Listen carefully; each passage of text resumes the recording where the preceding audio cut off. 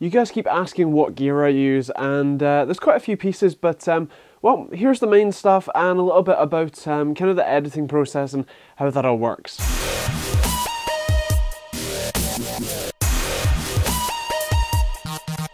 Check out our website at techteamgb.co.uk for more info on both this and many other products, and also up-to-date news on all things tech. Stick around for this awesome video. You guys are requesting this video for at least six months, if not a year, so I thought I'd finally do it. This is the gear I use to film these videos. Now, I use a Canon 100D, which is a rather compact DSLR. Um, I actually, has a dedicated uh, film mode, which is awesome and allows me to go manual, so I can change things like aperture, uh, shutter speed, and ISO very, very easily, uh, which is lovely. I actually generally use the kit lens for most things, that's the 18 to 55mm um, kind of just standard kit lens. And uh, yeah um, I actually also have a 50mm prime f1.8 lens which I use for the bits that I film my face just because my room is pretty dark. Um, to help illuminate the products and uh, me I use just these kind of relatively cheap um, LED light panels. They are kind of uh, I think like 20 or something 28 or, or, or more LEDs um, actually, now that I'm thinking about it, it's definitely more than that. But um, anyway, they're powered by uh, AA batteries, has a kind of uh, cold shoe mount as well as a, uh, sort of a tripod uh, jack or thread on the bottom. So you can screw it into tripod if you so desired but the mics are the things that are the newest at the moment um, as I currently use uh, or at least for the on-camera stuff and for the you know kind of traipsing around behind the camera stuff I use a RodeLink uh, filmmaker kit which basically comes with a uh, kind of transmitter and receiver module. So the receiver um, has USB power has a threaded um, kind of jack to plug into the camera. Um, it's awesome. It has a kind of cold shoe mount again, but you can remove that to make it a belt clip. Uh, the transmitter is the same, um, has a threaded uh, kind of three and a quarter inch jack as well as a power button. This one only has a belt clip. Uh, you can change the decibel level for the kind of output. Uh, you can up it on the transmitter and drop it on the receiver. Uh, it comes with a really nice lav mic as well. And uh, yeah the slider I use which is one of the reasons why some of the shots I do are, are pretty awesome is uh, is this slider. It's pretty cheap, I got it off Amazon. It's a Neewer brand one, so fairly OEM, and uh, yeah, it does the job. It's got a ball head, uh, ball tripod head, um, for kind of ease of just moving things around. Um, but you can actually attach it to the tripod, which is what I generally do as opposed to kind of on this on-table version. But um, yeah, that's the, the slider I use.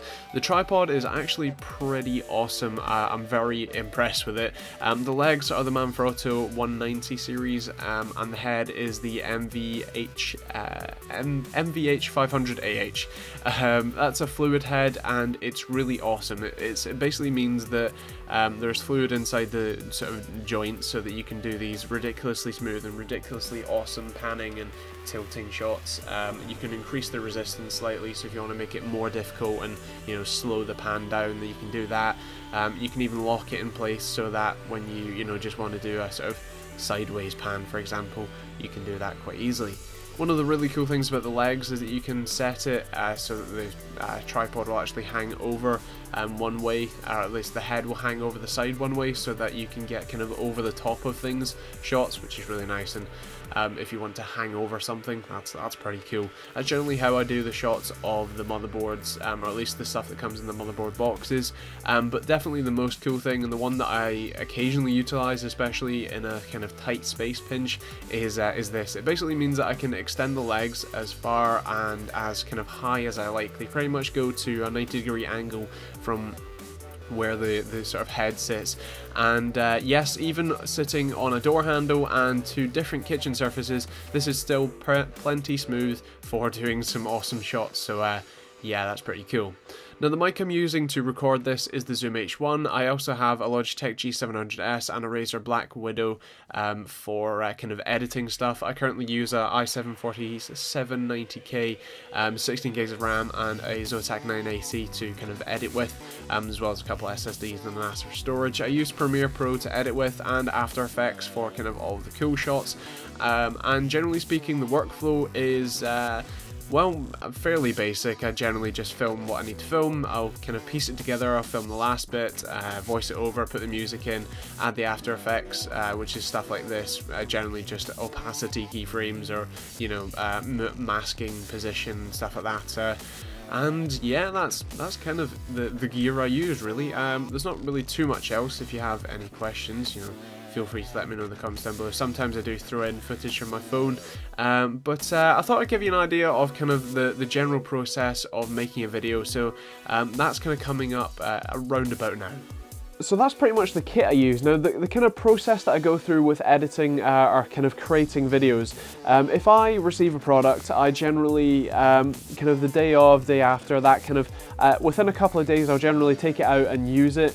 Um, whether that be, if it's a monitor, I'll generally take it out and just film it and test it and then put it back in the box and not touch it again. Um, if it's something like a keyboard, I'll take it out and test it for a week or two before I then film it um, and edit it together.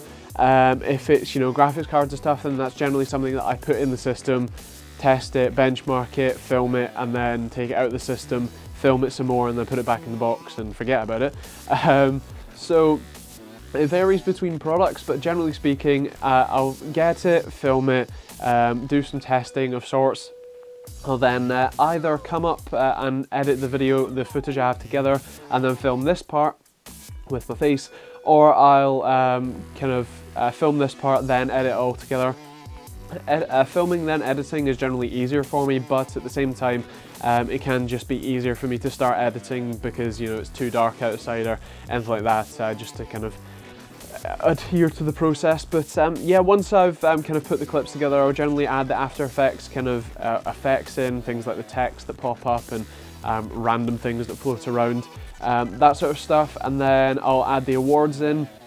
Uh, and then once that's done, I'll put the music in, um, sort the audio out in general, and then export it at about four, it's at 3840 by 2160 or UHD or 4K, depending on who you ask, um, at about 30 megabit per second uh, bit rate, uh, which considering YouTube, if you're watching uh, footage or you know videos at 1080p, generally only displays like I think it's five to 10 uh, megabits per second, so that's a pretty big cut considering my camera is recording at around about 30 as well. So uh, yeah, if you watch it in 4K, you still get 1080p, you know, kind of pixels, but you get better quality in terms of the bitrate. So that's kind of why I do that.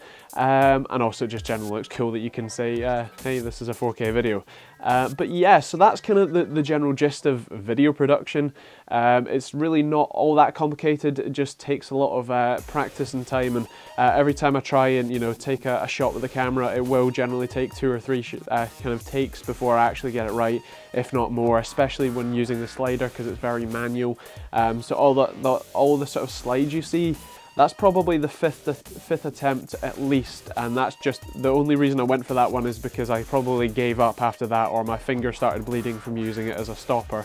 Um, so yeah, that's pretty much it. I mean, if you enjoyed the video, feel free to let me know in the comments down below. If you did or didn't, feel free to click the like or dislike button and subscribe if you haven't already. This is kind of a subscriber video, especially since um, people have been asking for it for a while.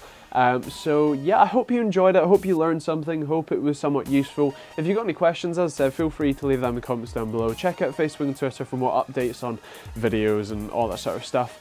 Um, and actually, I had an interesting question uh, I'd like to ask. This sort of video is the one uh, is the sort of video that if I were to ever do a kind of Patreon or, or something like that, this kind of video would be the ones that I wouldn't necessarily that the this kind of video would be the sort of one I would, you know, kind of put for patrons, you know, for people who are the sort of supporters of the channel, because it's not necessarily something that you desperately need to know. It's not like a product review where um, it's in both my and your best interest to watch it, but it's still an interesting video and something that I feel can, you know, add value to people at, at some degree.